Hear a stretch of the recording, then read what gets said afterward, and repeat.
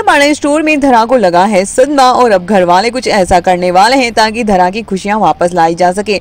आने वाले एपिसोड में कुछ ऐसा ही देखने को मिलता है कि वापस से आती है धरा, लेकिन वो अपना बिल्कुल भी ख्याल नहीं रख रही है और सब कुछ, अब घर वाले भी बहुत परेशान हो चुके हैं कि उसकी खुशी वापस कैसे लाई जाए। तो दूसरी तरफ़ अनिता यही सोच रही है कि अब गौतम और धरा के बीच में तो काफ़ी दूरियाँ आ जाएगी और इस बच्चे के ना होने की वजह से उसके लिए अब उसके घर में जगह बन सकती है और वो गौतम की ज़िंदगी में वापस आ सकती है। और वो सपने देखते नज़र आती है और तैयारियाँ करते नज़र आती है शॉपिंग वॉपिंग करके।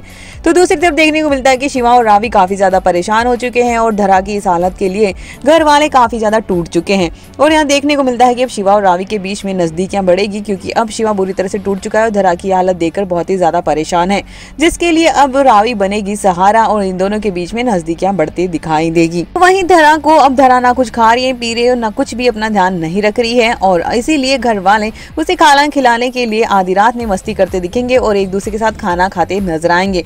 जिसके बाद भी यहाँ पर कोई भी रिएक्शन उसका नहीं आता है और वो चुपचाप से वहाँ पर उस कमरे से शांति से निकल लेती है। ये हालत देखकर बुरी तरह से घर वाले परेशान हो चुके हैं और अब धरा जब गुस्सा फूटेगा तब वो इस तरह से फूटेगा कि गोम्बी और सभी घर वाले शोक्ड हो जाएँगे और सुमन भी उसे थप्पड़ मार देती है और कहती है कि तुम्हें ये डिसीज़न अकेले लेने का फैसला मैंने कहा था ना, मत लो। धरा से एक बार तो पूछ लेते। वही धरा अब यहाँ पर उस पर इल्ज़ाम लगाते नज़र आएगी मेरे बच्चे के कातिल तो तुम ही हो। और वो अब गौतम के और धरा के बीच में काफ़ी कुछ तमाशा हो चुका है। धरा के हेल्थ के लिए ही गौतम ने ये बात छुपाई थी, लेकिन अब घर वालों को किसी को ये समझ नहीं आ रहा है, इसलिए गौतम पर सारा इल्ज़ाम लग चुका है। और गौतम अलग थलग पड़ चुका है और इसी बात का अनिता फ़ायदा उठाएगी, लेकिन रावी ऐसा होने नहीं देगी। और गौतम को समझाएगी कि धरा को उससे माफ़ी मांगे और दूसरी तरफ़ यही बात शिवा को समझ में आएगी, वो भी रावी से माफ़ी मांगते नज़र आएगा।